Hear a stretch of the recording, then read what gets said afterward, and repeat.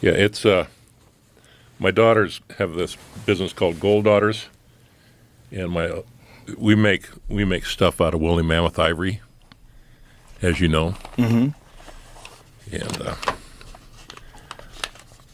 that fellow that uh, carved that tooth pipe is the fellow that carved this, and uh,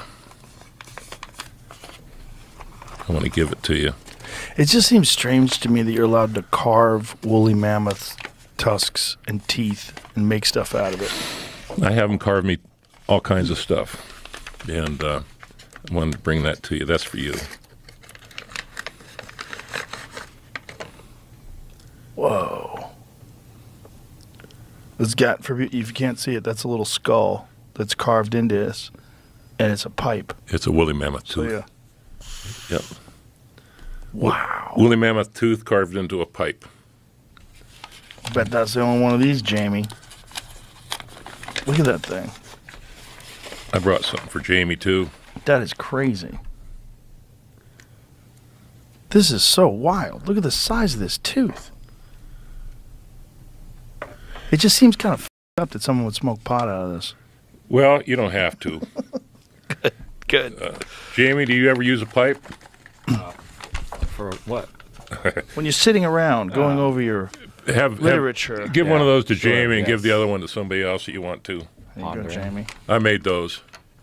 Thank you. My uh, my daughter Alora Longley is her last name. She These uh, illegal? For they're totally legal. tobacco use only. I know, but that's what I'm saying. I'm, I mean, Oh. the actual owning this tooth seems crazy. No, we own thousands and thousands of pounds of that material. That's so nuts.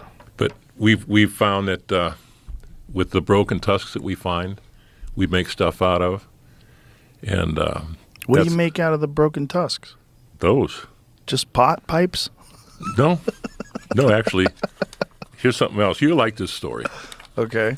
I brought you some guitar picks. Oh, okay. I'm gonna get one of these to Gary Clark Jr. I made uh, I made all these, Joe. Oh wow. Oh man, yeah, hundred percent.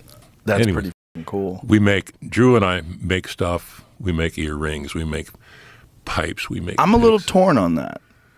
It's extinct. I know. You know how many elephants we've saved? How many elephants have you saved?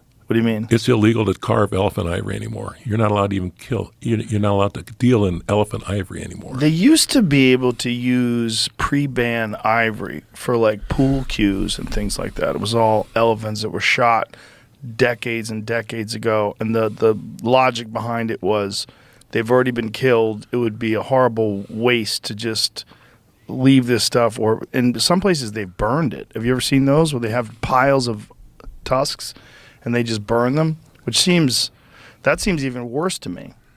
Well, the mammoth ivory, we have thousands of pounds of broken tusks. They come out broken, just like the bones. So we we make stuff out of it. There it is. so this stuff that she has, all that, this is all mammoth ivory. Mammoth ivory, and then you see some with gold nuggets on it. Wow, That also, um, that's pretty fing cool. Yeah, also comes off our ground. She makes rings too. Oh yeah, she she's. I'm telling you, she's Saks Fifth Avenue. That's cool looking stuff. I'll tell you that. That ring right there with a piece of walrus ivory, in it, or mammoth ivory, whatever that is. Yep, mammoth. That's mammoth ivory, Yep. and she turns that into a ring. Oh Yeah. wow! You got to remember that what we start with is a nasty looking just shard. Mm. And she spends a lot of time on those. She's making cabs now, and she's she's learning the business from a guy up in or in Jacksonville. Guy Beard is his name. He does a jewelry store. There, we have a set of tusks in there for sale that we found on another creek. It's a match set.